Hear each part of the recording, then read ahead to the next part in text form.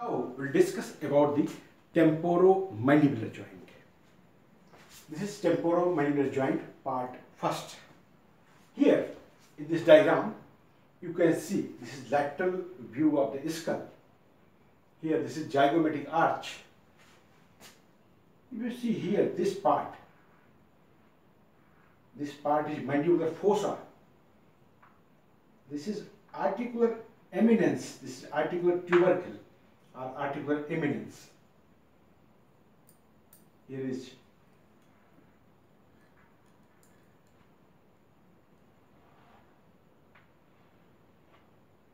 head of the mandible. This is head of the mandible.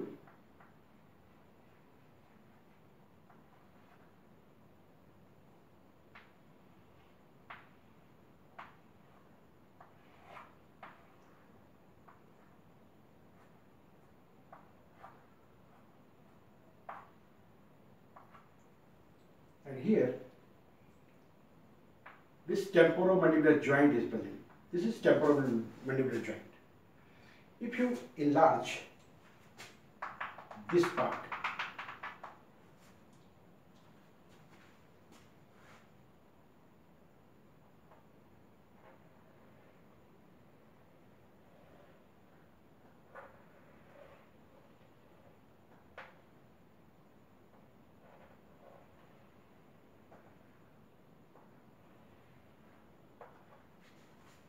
in this diagram, this is a large part of this part.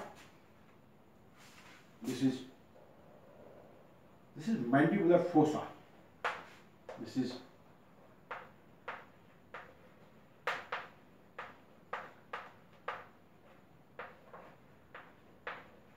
this is mandibular fossa. Here is articular eminence. This is articular eminence or articular tubercle this portion is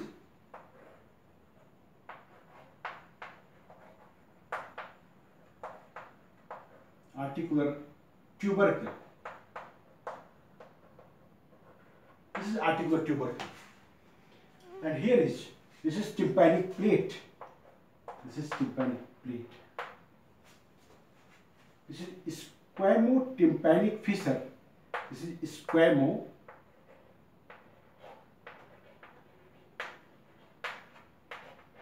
tympanic fissure.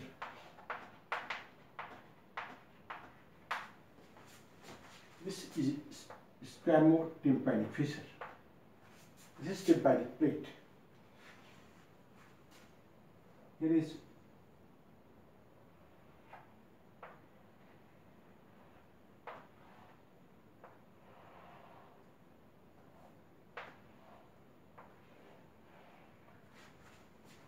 this is this portion. From here to here this diagram is magnified diagram of this. This is magnified here. So this articular surface is mandibular fossa and this is articular tubercle or articular eminence this is head of the mandible. This is head of the mandible.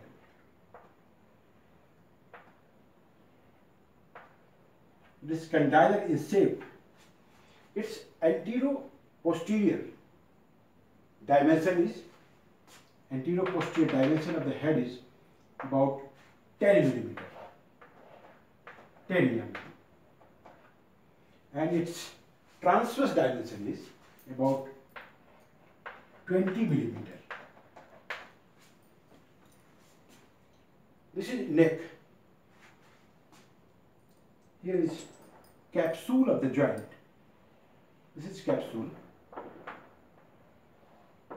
This is capsule of the joint.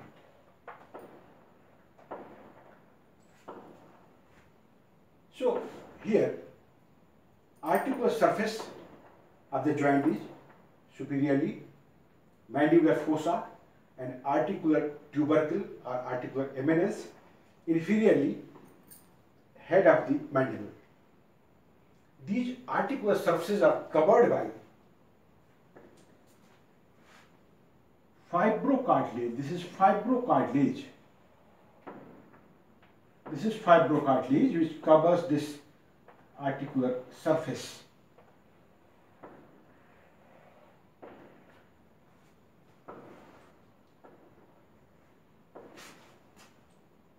This is fibrocartilage.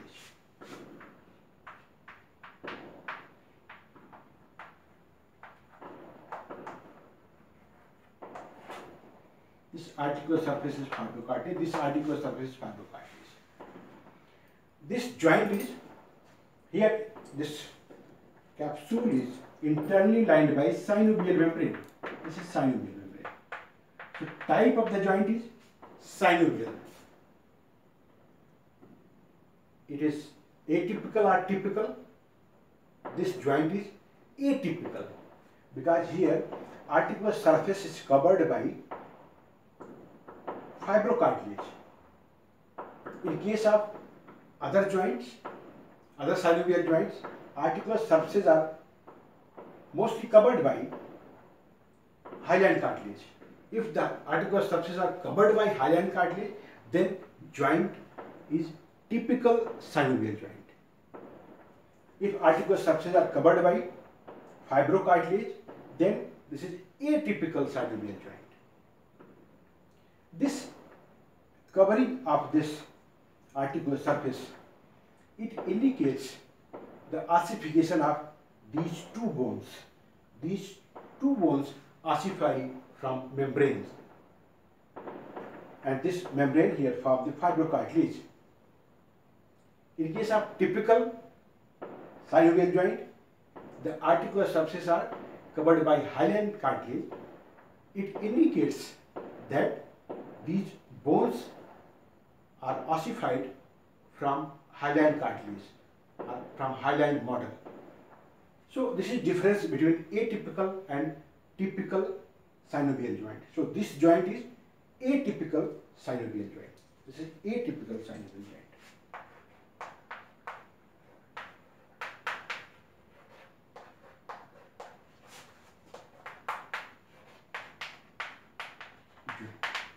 And variety of this joint is condylar. Here is condylar joint.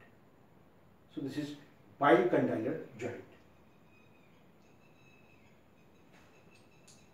This joint cavity is divided into two parts.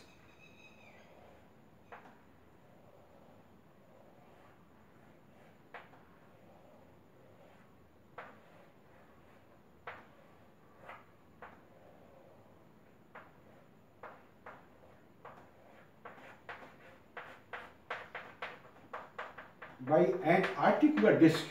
This is articular disc which divides the joint cavity into two compartments. This is upper compartment, this is lower compartment.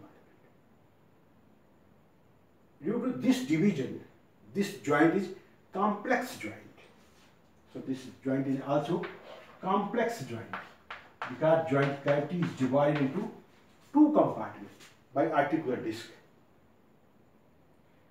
If you see this articular disc, it is circular in shape. Here, if you make a diagram, this is circular in shape like this. Its peripheral part is thickened and central part is thin. The central part is thin and peripheral, peripheral part is thick. And this peripheral part attached with the capsule here. And it has two bands. Anteriorly, it is thickened here. This is anterior band. There is posterior band. This is anterior band. This is posterior band. And anterior to this anterior band, this is known as anterior extension. This is anterior extension. Anterior extension.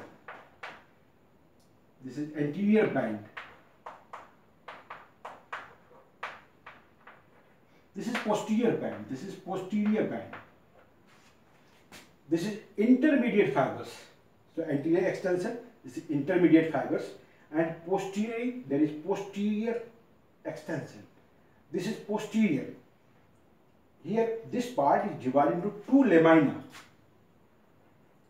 this is upper lamina, this is upper lamina, which is attached with squamotympanic fissure, this is upper lamina. And another part, this is lower lamina. This lower lamina is attached with the neck along with the capsule here. And between upper lamina and lower lamina, there is a venous plexus. Here a venous plexus is present between these two lamina. Upper lamina is fibroelastic in nature and lower lamina is only fibrous elastic tissue are less here in comparison to this. Here, this arrangement anterior and posterior band here fibrous tissue crimpled here. And during pressure applied over here these fibers may elongate it and when pressure released these fibers recoiled. So these fibers protect this. So this is articular disc superior surface is concavo this is concavo and convex this is concavo convex and inferior surface is concave now the capsule this is capsule which is attached superiorly with the articular tubercle and margin of the mandibular fossa here. Inferiorly attached with the neck here and it is internally lined by synovial membrane. During childbirth, these are upper compartment and lower compartment, these all are covered by synovial membrane like this.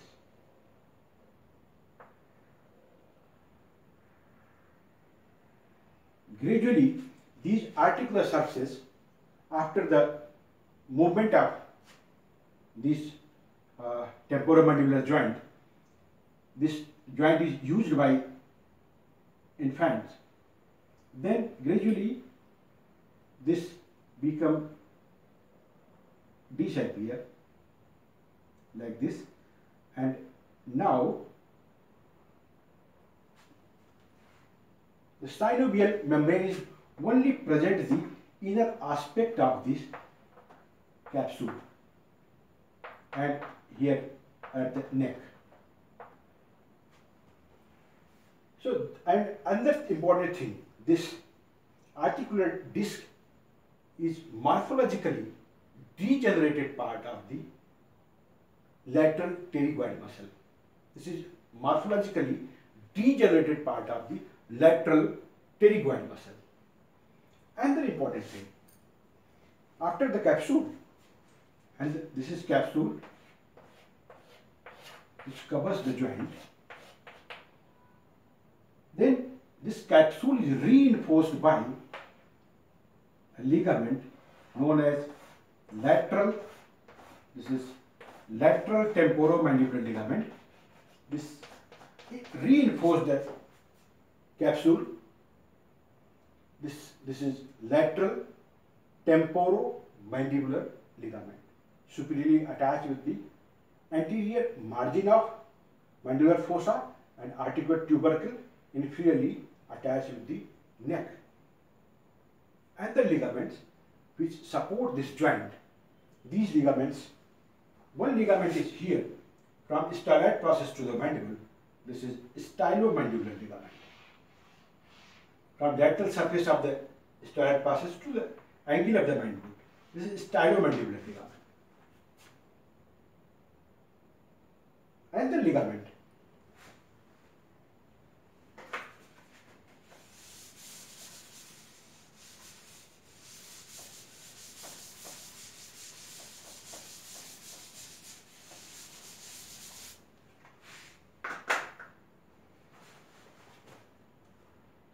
if you see in this diagram, this is here is angle. Here is styloid process. This is style lateral surface of styloid process. This is angle. This is stylomandibular ligament. This ligament is accessory ligament, and this ligament is formed by deep cervical fascia, thickening of deep cervical fascia, which is present between two glands, two salivary glands. Here is submandibular salivary gland, here, and here is parotid salivary gland. So it lies between two glands. This is thickening of the cervical fascia. Investing layer of the deep cervical fascia. This is thickening of the investing layer of deep cervical fascia. Another ligament, here in this diagram here is spine of sphenoid. This is spine of sphenoid and if my mandible is here like this here is position of the lingula. There is mandibular canal. This is position of the lingula. On inner aspect, here is this ligament. This is sphenomandibular ligament. Here is you can see dotted dotted. This ligament is sphenomandibular ligament is attached superiorly with spine of sphenoid, inferiorly attached to the lingula of the mandible. This is sphenomandibular ligament. So this ligament and this ligament, both ligaments are accessory ligament and this ligament is remnant of dorsal part of Meckel's cartilage. This is sphenomandibular ligament. So these are the ligaments which support the joint. This is lateral ligament, capsular ligament, lateral ligament, and sphenomandibular ligament and stylomandibular ligament. So this is all about the first part of the first part of the temporomandibular joint. Red. Inte rädd bä. Så det